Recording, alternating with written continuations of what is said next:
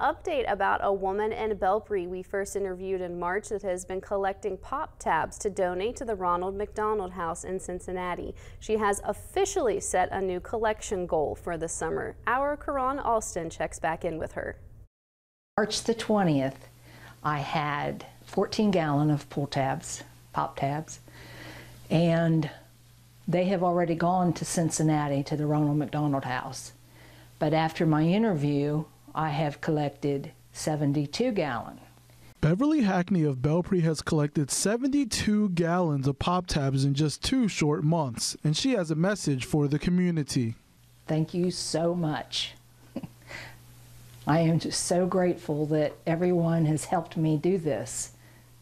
You know, they've gone out of their way and collecting them and getting in touch with me and telling me how many they had and dropping them off for me and then having them to where I can go drop or pick them up.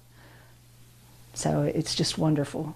With the influx of pop tabs that Hackney has acquired over two months, she now has a new goal she has her eyes set on by the end of the summer. I'm hoping that in August, when she's going to back going to go back to the Ronald McDonald House, Cincinnati, that I can have at least a hundred gallon for her to take with her. From Belpre, Karan Alston, WTAP News, this is home.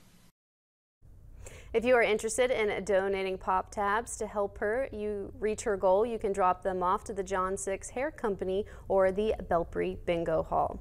Pools in the